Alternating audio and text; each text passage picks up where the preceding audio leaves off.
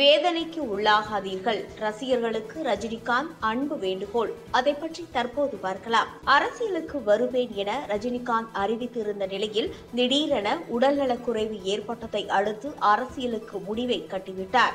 இந்த நிலையில் நடிகர் ரஜினிகாந்தை அரசியலுக்கு வர வலியுறுத்தி ரசிகர்கள் போராட்டத்தில் ஈடுபட்டனர். இந்த போராட்டத்தில் ஏராளமானோர் கலந்து கொண்டு வா தலைவா வா என்ற முழக்கங்களை எழுப்பினர்.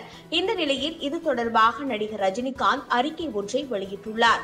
அதில் நான் அரசியலுக்கு வராதது பற்றி மறுபரிசீலனை செய்ய வேண்டும் என்று சிலர் ரஜினி மக்கள் மன்றம் பதவியில் பொறுப்பில் இருந்தும் மன்றத்திலிருந்து நீக்கப்பட்ட பலருடன் சேர்ந்து சென்னையில் ஒரு நிகழ்ச்சியை நடத்தி இருக்கிறார்கள் கட்டுப்பாட்டுடனும் கண்ணியத்துடனும் நடந்ததற்கு என்னுடைய பாராட்டுகள்.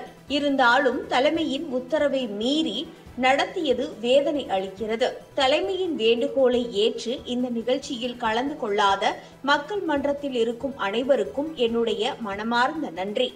நான் ஏன் இப்பொழுது அரசியலுக்கு வர முடியவில்லை என்பதற்கான காரணங்களை ஏற்கனவே விரிவாக கூறியுள்ளேன். நான் என் முடிவை கூறிவிட்டேன். தயவு செய்து இதற்கு பிறகும் நான் அரசியலுக்கு வர வேண்டும் என்று யாரும் இது போன்ற நிகழ்ச்சிகளை நடத்தி என்னை மேலும் மேலும் வேதனைக்கு உள்ளாக்க வேண்டாம் என்று பணிவன்புடன் கேட்டுக்கொள்கிறேன் என தனது அறிக்கையின் மூலமாக தெரிவித்துள்ளார்.